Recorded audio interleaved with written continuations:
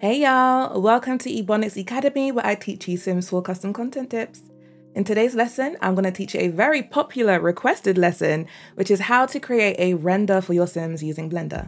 If you're completely new to Blender, then this tutorial might be a bit tricky, so I would suggest taking my free Skillshare class to get a basic understanding of how to move around in Blender. The first step that you want to take is to save the sim that you want to render. So you can either make a new sim directly from create a sim and start a new save or go into a save that you already have and enter the household of the sim that you want to export. In this case, I'm going to enter a household of a sim that I would like to export. Me! so once you're in game and your sim is wearing whatever it is that you want them to be wearing in this render, you're going to want to save the game and then just exit.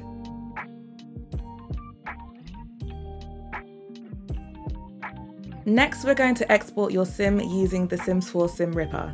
There's a link for this in the description. Once you've downloaded the file and extracted it, run the program like so. And don't worry, it's going to take a little bit of time to load up, and then you're likely going to get an error at the beginning. Don't worry about this error, the developer knows about it, it's fine, just hit OK. Once the program's loaded, you're going to look for the save that you just did, which will likely be at the very top of your save folder. You're then going to click open. Once that's opened, you'll see a list of names and these are all of the sims in that save. So you're going to look for the name of the sim that you would like to render. Hit the sim's name and wait for it to load. Once your sim's loaded in, you want to make sure that you get all the export settings right. So make sure you selected solid and glass meshes and texture, HQ texture size, and then you're going to export your sim as a DAE file, which is the third option. And don't worry if it takes a little while. Save your sim somewhere easy to find because then you are going to be importing your sim into Blender. Once you open up Blender, you're going to select the cube, press X and delete it. Then you're going to import a Collada DAE file. Locate where you just saved your DAE file, select it and import it.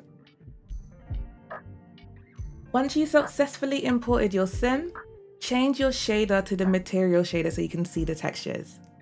Hit the drop down on the rig in the outliner and you'll see your solid and glass meshes. Select the first mesh and then head down to the material tab and reduce the specular. So that's going to reduce the layer of Vaseline that she's got on. You'll then do the same thing for your glass mesh by selecting it in the outliner and reducing the specular to your desired amount. You now want to open another viewport to adjust your shader nodes. Move your cursor to the top corner of your viewport till it changes to a little plus. Click and drag it across until you see another window opening.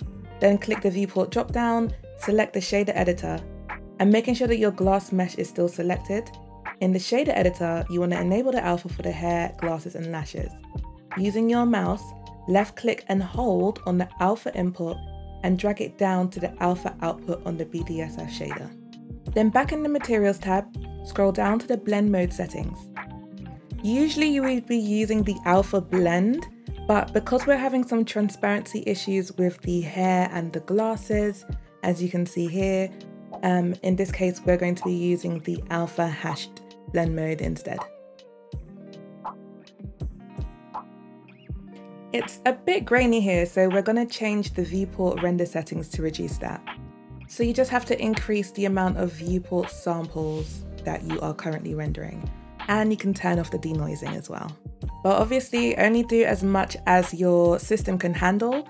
If it starts sounding like it needs to take off, then just go ahead and reduce that viewport samples for me. Okay, so now we can start posing your sim. Select the pose in the outliner and then change the mode from object mode to pose mode. Select one of the bones and then you're going to select I on your keyboard and then location, rotation and scale. Once you've done that, press A to select all of the bones and then go and find a pose that you'd like to use. I really love Helga Tisha's poses, so I'm going to use one of hers for this demo. Make sure that you've got 4 Studio downloaded at this point as well. So double click on the post that you like and once it's opened, you'll see all of the clips on the side. Head to the clips tab and then select the pose that you'd like. I really like this pose, so I'd like to use it for our render. Once I've selected that, I go to export and then save it somewhere easy to find.